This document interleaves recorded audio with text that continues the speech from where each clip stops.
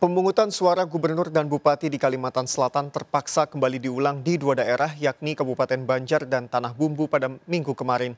Pencoblosan ulang terpaksa dilakukan lantaran terjadi pengerusakan kertas suara oleh oknum KPPS dan adanya pemilih yang tidak tercantum dalam DPT.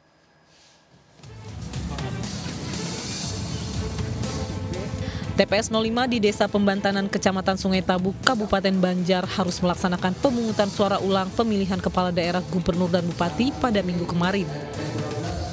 Pencoblosan ulang ini terpaksa dilakukan setelah pihak KPU menemukan pelanggaran berupa pengerusakan surat suara oleh oknum petugas KPPS saat pemungutan 9 Desember lalu.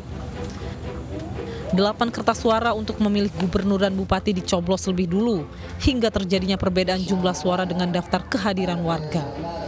Namun dari 454 daftar pemilih tetap di TPS ini, warga yang hadir di pemungutan suara ulang hanya berjumlah 316 orang. Saksi katanya menemukan ada anggota KPPS kita yang melakukan pencoblosan sehingga menyebabkan 8 surat suara rusak bupati dan gubernur. PSU juga berlangsung di Kabupaten Tanah Bumbu, tepatnya di TPS 05 Desa Sejahtera Kecamatan Simpang 4. KPU mendapati adanya pemilih tidak terdaftar yang melakukan pencoblosan di tempat tersebut. Uh, ada pemilih yang menggunakan hak pilih lebih dari satu kali. Hmm. Kalau yang di sini selisihnya uh, jumlah pengguna hak pilih dengan jumlah surat suara yang digunakan.